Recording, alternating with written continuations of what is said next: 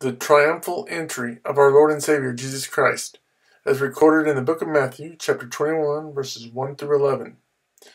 As they approached Jerusalem and came to Bethphage on the Mount of Olives, Jesus sent two disciples, saying to them, Go to the village ahead of you, and at once you will find a donkey tied there, with her colt by her. Untie them and bring them to me. If anyone says anything to you, say that the Lord needs them and he will send them right away. This took place to fulfill what was spoken through the prophet.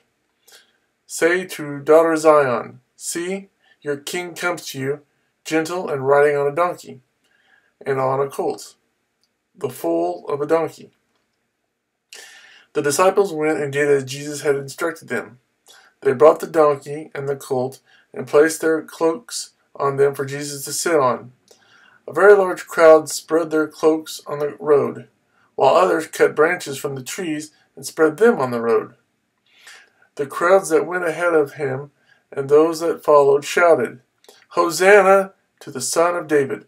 Blessed is he who comes in the name of the Lord! Hosanna in the highest heaven! When Jesus entered Jerusalem, the whole city was stirred and asked, Who is this? The crowds answered, This is Jesus the prophet from Nazareth in Galilee.